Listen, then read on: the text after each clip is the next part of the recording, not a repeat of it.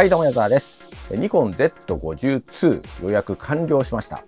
今回はこのカメラを購入した決め手についてお話しします。ということで、ご覧ください。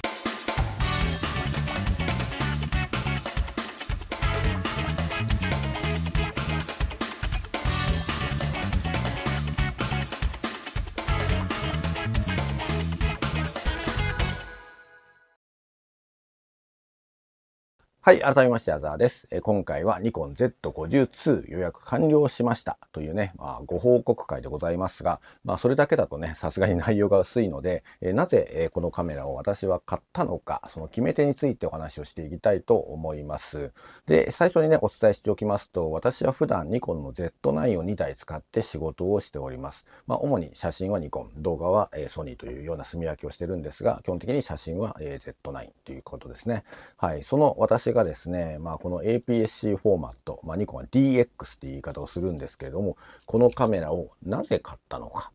うん。まあ以前ね、ZFC を買って、まあ半年ぐらいで手放したというね、まあ前科があるんで、前科なのかわかんないけど、まあちょっとね、私には合わなかったなっていうところなんですけど、まあその同じ APS-C のラインですね、その Z52 を、まあ証拠りもなくなぜ買ったのかっていう話なんですけど、で、このカメラ、だいぶ違います。はい。何が一番違うのかというと、やはりですね、エンジンです。うん。エクスピード7というね、まあ、最新のエンジンを積んでるんですよね。ちなみにですね、今そのエンジンを積んでいる機種となりますと、えーフルサイズ機しかないんですね。えー Z9、Z8、ZF、Z6-3、この4機種しかないんです。うん、で、その最新のエンジンを、この APS-C のこの小さな筐体のね、このカメラに収めてきたっていうところ。それが一番大きいですかね。うん。でね、まあ時々こういう話をすると、エンジンが違うだけでそんなに違うんですか？っていうね、あの質問いただくんですけど、あの声を大にして言いたい。大違いです。うんもう一回言うよ。大違い。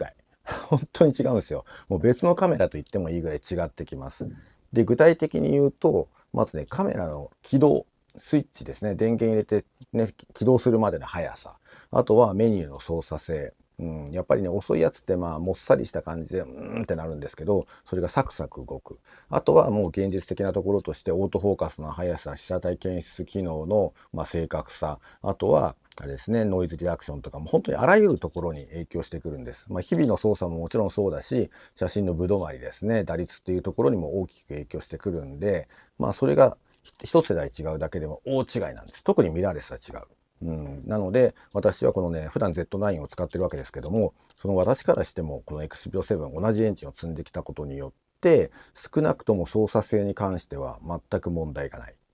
うん、そんな印象です。でオートフォーカスに関してもまあ後々ちょっと検証動画なんかをねアップしようと思ってますけど私がこの部屋で、え暗い場面を作って試してみましたけれどもまあ Z9 と同等というとさすがに言い過ぎですけれどもそんなに実践で使っていて不自由さを感じないレベルでした。うん、少なくとも以前ね Z6-2 これエンジン一つ前の XPEED 6なんですけどそれよりは全然いいと私は、えー感じています。はい。なのでこれがまず一つエンジンが変わったことっていうのが一番大きいんですけどそれでいて価格ですよ。うん。13万円台です。実売価格ね。あのメーカー希望小売価格は14万5千円だったかな、ボディだけの場合。それがまあ実売価格だと1割ぐらい引かれるので、まあ、13万円ちょいぐらいにはなるんですけど、まあ、私はヨドバシカメラで予約したので、ポイントがね、加算されているので、実質まあ14万円以上はするんですけど、まあ、実売としては13万円ちょいですね。これがですよ、うん。13万円台で買えるってちょっと脅威なんですよね。うん、でちなみに、えーソニーの ZV-10-2 これが、えー手ブレ補正が入っていない APS-C 機で15万円超えてくる感じです。であと手ブレ補正が入っている α6700 になってくると同じ APS-C フォーマットですけど20万円を超えてくるんですよね。うんまあ手ブレ補正があれば20万円超えてもいいやっていう人もいらっしゃるかもしれないんだけれどもあの結局そうなってくるとフルサイズ機との比較になってくるんですよね。うん、私もしこれが手ブレ補正が入っててボディ内手ブレ補正ねボディ内手ブレ補正が入っていてで20万円超えてきたら多分っていうか絶対買わなかった。うん、買わなかったし、だったら Z5 のね、次の2型を待った方がいいんじゃないのっていうふうに、まあそういった思考になっちゃいます。うん、で、これだったら別に私は手ブレ補正がなくて13万円の方がありがたい。うん、価格面で完全にありがたい。で、あとはボディサイズです。はい、これも大きいと思います。あの手ブレ補正が入ってくると、まあ、私ねあの設計のこととか細かく分かりませんけど結構筐体大きくなりがちなんですよね。うん、おそらくこのサイズでは収まらなかったとは思うんですよね。そうしてくるとちょっと悩むかな。うん、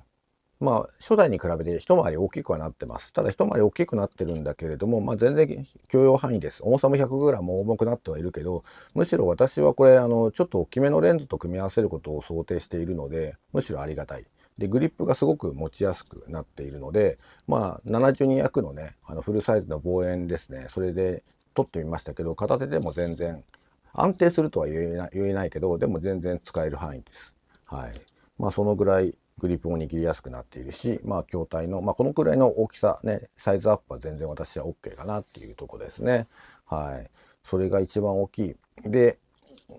ここからはちょっと私の運用方法についてのお話なんですけど基本的にはサブのサブで考えています。はい、今 Z9 2台ね持っているって言いましたけれども Z9 を2台持ってそれをフル稼働する場面っていうのは私はステージ撮影のことが多いんです。で特に走り回ってね、えー、広い会場を取らなきゃいけないなんていうこともあったりするんですけど今までだと Z92 台にあとは、えー、大体望遠あとは、えー、標準ズームねつけて。であともう一つ広角をね、えー、カメラバッグの中にちっちゃいショルダーの中に入れて場面によって付け替えるっていうことをやるかもしくはそこまでの時間がない時はもうソニーの α7S3 普段は動画用として使ってますけどそれをスチール用に持ち出して、えー、1635の GM レンズをつけて3台体制っていうことをやったりします。ただまあソニーの α は小さいんですけど筐体はね小さいんですけど言うて GM の1635とかになってくるとレンズ自体が結構でかいのでまあそれをね、えー、結構長時間1時間2時間首からぶら下げてるっていうのはかなりの負担になるわけですよね。それでまあカット数自体はせいぜい56パターンぐらいしか取らないので、まあ、効率が悪いいわけですよね。でもこれであればちっちゃな広角レンズ例えば私が持ってる1430のね F4 とかを、まあ、つけたまんまショルダーに入れといて必要がある時だけ出せばいいっていうぐらいのサイズ感ですよね。まあ、首からぶら下げといってもまあ負担にはさほどならないけれどもちょっとまあぶつかったりすることを考えるとむしろショルダーの中に入れといて必要な時だけ出すっていう方がまあ現実的かなっていうでそれができるサイズ感であるっていうのがすごく大きいと思います。はい、であとまあステージ撮影でまあめめったにないんですけどあのオフィシャルの仕事なんかをしてると時々あの思いがけず楽屋ショットとかオフショット撮ってくれみたいなことが追加でその場で言われることってあるんですよね。いやいや聞いてませんよっていう話になることがよくあるんだけど、まあ、そういった時はもうなるべく楽屋裏とかの明るいところうん、あとはまあ蛍光灯がねあるところとかに連れてってちょっと急かんであげてやむを得ず撮るってことが多いんですけど、まあ、結局色はあまり綺麗にはならないんですね。まあ、そのための保険として、まあ、ストロボ1個持っていこうとすると私今プロフォトの A1 しか持ってないんでこのサイズになるんですよ。このサイズ。このこのサイズですよ今カメラと比較してるけどこれ1個持っていくだけでね使うか使わないか分かんないのに持っていくって結構億劫になるんですけどこれだったらさこれ内蔵内蔵ストローがついてるんですよね。こう今時今時って言っちゃあれだけど内蔵ストロボついてるカメラってあんまないんだよね。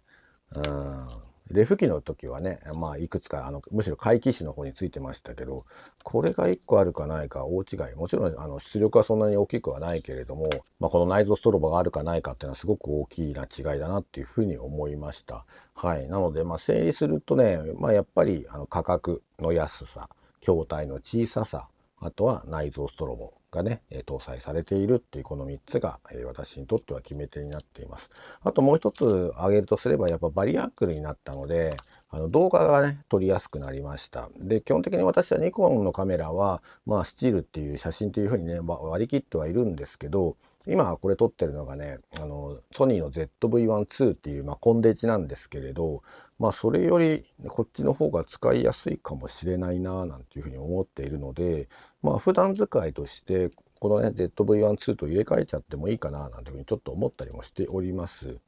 で、少し前にね、あの、X のトレンドの方にも入りましたけれども、まあ、このカメラにね、手ブレ補正が入っていないっていうことで、やいのやいの言ってる人が一部いたんですけど、あの、カメラってさ、あの、グレードっていうものもあるし、あとは何て言うんだろうな、やっぱ、筐体の大きさとか価格とかねそういったものとのバランスをとって作られているものなのでまあこのカメラに何でもかんでもって望むのはちょっと難しいよねと私は思っています。でまあそうやってまあ騒がれている方がどこまでご存知なのかわかんないんだけど今ねニコンの DX 用のレンズっていうのはあの今5本あるんです。うん、ちょっと少ないけどね、まあ、5本あってそのうちの4本は全て VR 積んでるんですね VR っていうのが、まあ、いわゆるニコンでいう手ブレ補正の表記なんですけどこの、えー、キットレンズ1650ですけどこれ1650みたいな広角から標準のこんな短いレンズですらあのレンズ内手ブレ補正がついてるんですよ。うん、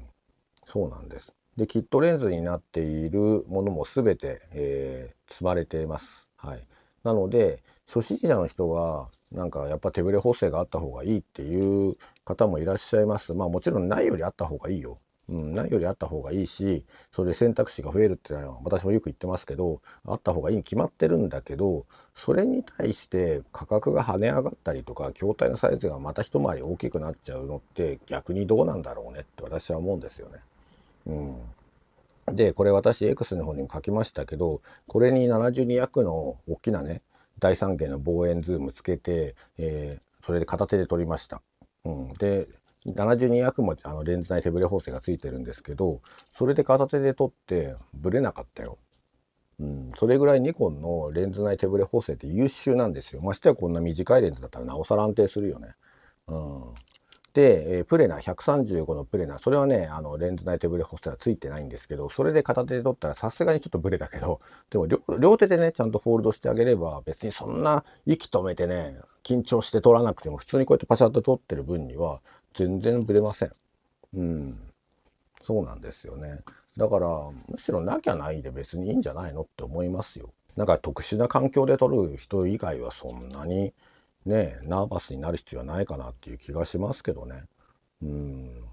はい、でこのカメラで特殊な環境で撮るっていうこと自体にちょっと無理があると思うんで、まあ、そういう方はね他の機種を選択すればいいだけじゃないのかなと私はちょっと冷ややかに見ちゃってますけれどもなので私は手ブレ補正を積むことによって価格が上がったり筐体が大きくなったりすることの方がはるかにデメリットだと思います。なので私はこのね、サイズこの価格で出てきたこと自体に大歓迎でいて最新のエンジンを積んでるっていうところではもう賞賛しかないですね。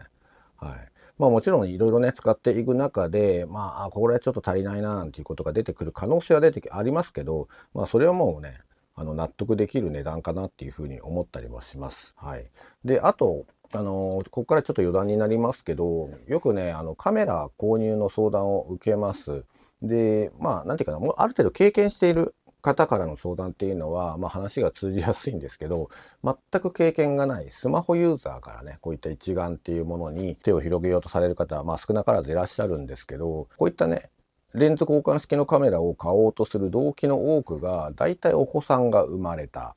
うん、あとペットを可愛く撮りたいとかね、まあ、身近な被写体ですよね。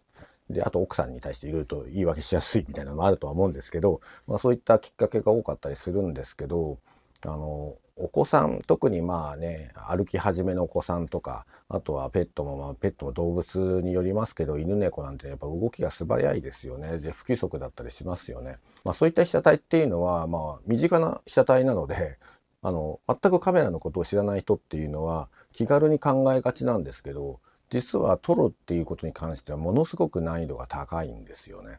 うんでさらにお子さんが大きくなってくると今度運動会とかね、学芸会とか、ね、部活の試合とかってなってきますよね。そうなるともう動体ですよね。うん、学芸会になってくると今度暗いですよね。うん、本当にあの最上位機種を使わないとまともに取れない状況しかないんですよ実は。うん、ただそれをあの説明するのがなかなか伝わらない。さらに予算聞くと大体10万円とか言ってくるんです。無理だよねって。無理でしょっていう話なんですね。ただ、まあ、この Z52 が登場したことによって、まあ、そういったね人たちに対しても訴求できるかなと思うんです。さすがに10万円以内で収まらないけどもさ。うん、でも大きく値段変わらないじゃないですか。うん、これでいやそれだったらもう50万円以上するカメラ買わないと無理だよなんて言うともうそこでもうみんな心折れるけどもう56万円頑張ればこれで撮れるよっていうことも言えますよね。うん、だからそういった本当にスマホユーザーからねこういった一眼に手を伸ばすっていう人たちに対してもすごく進めやすいカメラかなっていうふうに思います。はい、で先ほども言いましたけれどもレンズ内手ブレ補正がついている、ね、こういったキットレンズですよね。こういったものと組み合わせれば初心者の方でもそんなに遜色なくブレブレの写真になったりはしないと思いますので、はい、こういったカメラは、まあ、初心者の方にも本当におすすめだし、まあ、私みたいに本職でね Z9 使ってる人間からしても、まあ、サブのサブとして、まあ、魅力的なカメラかなと。うん、さらに動画もねバリアングルになっているのですごく撮りやすいですし自撮りモードもついてますよ、はい、そういったこともあるので非常に多機能。多機能です、はい、いろんな使い方ができるからまあコンパクトで万能機と言っても過言ではないかなと。いうふうに私は思います。はい、なので、まあ、繰り返しになりますけども私の決め手としては価格、えー、筐体のサイズ。内蔵ストロー。この3点でございます。この収録予約済んですぐに撮ってるんですけどまあ私の、ま周囲でもすでに何人かねもう予約自分も完了しましたなんていう報告いただいておりますけどまあちょっとバカ売れの予感ですね。はい。発売日に手にできる人が一体何人いるのか分かりませんけどニコンのバックオーダーがどれくらいあるのか分かりませんけれども、まあ、皆さんの、ね、手元に実機が来て、まあ、どんな反応が返ってくるのか、まあ、それもね楽しみに待ちたいと思います。まあ、そんな感じで今回は、えー、Z52 予約完了と、まあ、購入の決め手についてお話をさせていただきました。え、今回の情報が参考になったという方はぜひ高評価ボタンをチャンネル登録がまだの方はこの機会にご登録いただけますと幸いでございます。はい、以上のようでした。